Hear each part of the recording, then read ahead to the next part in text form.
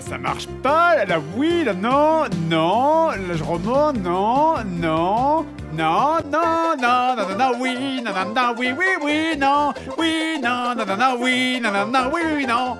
Qu'est-ce qu'on se marre, putain Pour résumer, vous allez devoir marcher sur chaque putain de carré de chaque putain d'écran de ce jeu pour savoir sur lesquels vous pourrez marcher et sur lesquels vous pourrez pas. Tout ça pour avancer et trouver les donjons qui, en plus, comme le premier village n'est pas indiqué sur la carte, et donjons qui sont par ailleurs aléatoires et qui changent de place tout le temps chaque fois que vous relancez le jeu. Ça tient pas en place un donjon. Et quand vous faites un donjon, eh bien, quand vous en ressortez, vous êtes aussi pour aucune putain de raison logique retéléporté au début du jeu à côté du village de départ.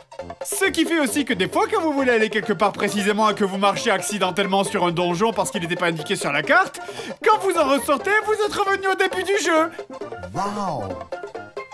Mais ce n'est pas grave, je ne suis pas énervé. Car euh, je joue au RPG non pas pour leur gameplay, mais pour leur scénario. Et tant que le scénario est bien, tout va bien.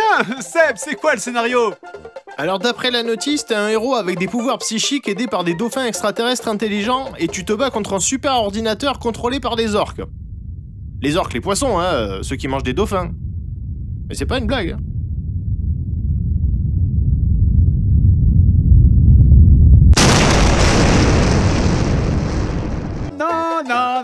we, na na na, we, we, we, no. We, na na na, na, we, na na na, we, no.